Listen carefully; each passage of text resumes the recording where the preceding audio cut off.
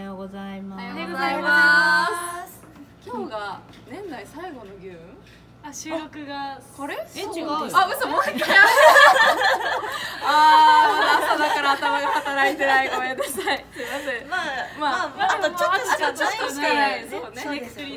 今年も一年、はい。い、ろいろやったけどいろいろやったね本当に、はい。沢口はね今年入って、そうですね。今年と言っても夏なので、うん。本当にまだ半年くらいしか経ってないんですね。あーそっか。はなんか印象に残ってるとかある？い印象に残ってるのはまあやっぱりハロウィンのあー確かにねったねなんか違う自分が見えて何かになんか目覚めそうでした。確かになんかいつもの沢口よりもなんかキラキラしてますよね。なんかひょうしてたもんね。確かに。あそういえばあのこのこの収録の前日がバトスタだったんですけど、うん。昨日バトスタだったんですけど、うん。あのメイクさんに会ってうん。たまたまあのハロウィンメイクしてくれたメイクさん来年もよろしくお願いしますって言いました。予約済み来年も楽しみだなあれまたやりたいやりたいです。あ本当に？まあでもあれは確かに強烈だったもんね。すごいなと思った。あれ本当に怖かったですもん。なんか沢口って分かってても怖かった。みんな目を合わせてくれないリアルだったもんねなんか血のりとかもね結はい。構中村はなんかある？今年やってたことでもう一回やりたいとか。今年？なんかもう1年がどれぐらい前なのかがもう分からなくなってくるっていうのは あるあるですか？るあるあるだよあれ1年前だっけ？今年だっけ？って。なるなるなる。なんですけど、ん。まあでもなんか沢口いたかな？なんか動物園でうんうん。絵を描いたり、あれはだいぶ前ですかね？あれ動物園絵描いたのはね。あれは中村が1年目の時だよ。もうぐちゃぐちゃになっ私は行ってなかったんですけど、うん。あのモノマネ中谷さんと志木さんがやってたじゃないですか。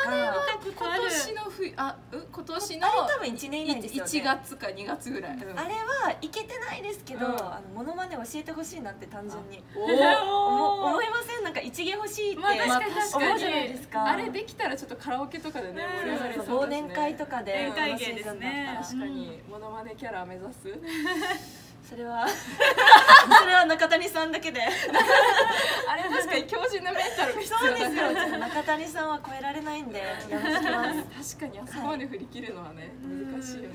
黒木さんどうですか？私はあのね沢口これも多分沢口いなかったんだけど、演技の回、演技の会、うん、あのあ。プリンセス・オブ・レジェンドの回だ結構最近ですね。そうそうそう自分たちですごく設定を考えてやるっていう。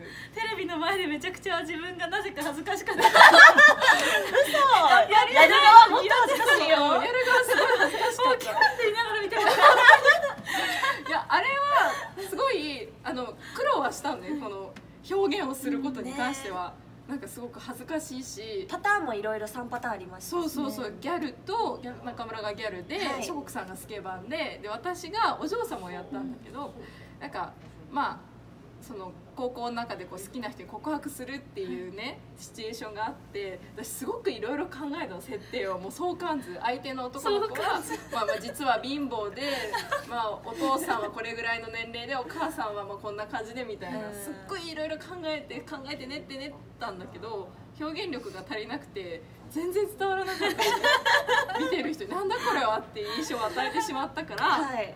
ぜひリベンジしたい練って練って練った設定を皆さんに見ていただきたい。確かに。でもあのナイス一本はすごいうん。あの脳裏に焼き付いてます。もうそれは忘れて焼き付いて離れない。それは忘れていいのもうやだよ。恥ずかしかったよ。もうあれを残したっていうだけでかなり爪痕残してます。爪痕残して でもねすごい私の中で消化不良だからぜひもう一回ちゃんとちゃんと設定をでも多分そうすると5分ぐらいかかるから ユンの収あ録時間じゃ足りない。私いいんであのん。黒木さんだけで。いいの、い、いのかな？まあでもぜひもう一回やりたいなと思って。いいですねでも、ん。演劇、うん、いろいろまた今年も頑張ったけど、来年もね。そうですねはい。いろいろねまた来年も楽したんで頑張りましょうか。はい。じゃあ引き続き今日もよろしくお願いします。よろしくお願いしますこの収録だからね、はい。頑張ろうね。では皆さんバイバイ。ありがとうございました。最後突き放さ最後好き話今日も朝から元気にナイス一本だよ。なんかこれ生で見ると複雑な どういうこと？